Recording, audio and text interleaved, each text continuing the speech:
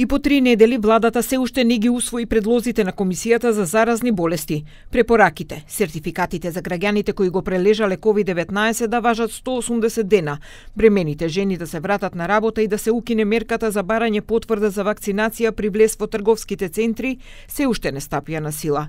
Но зошто координативниот кризен штаб и владата се уште не ги усвоија? Од комисијата вела дека не станува збор за блокада, туку за административни прашања. Немаме информација зошто тоа до сега не е прифатено. Предпоставам дека одговорот треба да ви го дадат од главниот кризен штаб и од владата. Но секако не се работи се... за некаква блокада, туку се работи за еве поусложнет пат или не знам административна некоја пречка секако.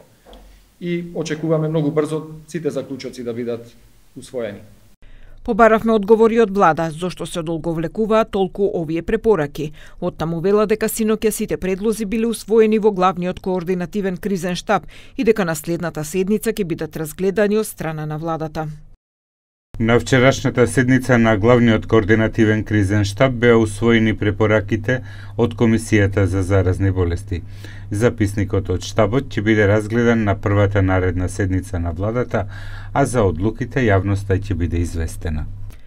Инаку досега искуството покажало дека владата во рокот неколку дена ги разгледува сите заклучоци кои излегуваат од здравствените експерти и членовите на Комисијата за заразни болести, но овој пат мерките чекаат зелено светло повеќе од три недели. Последната проверка што ја усвои владата на 26 јануари се однесуваше на намалувањето на периодот на изолација на 7 дена.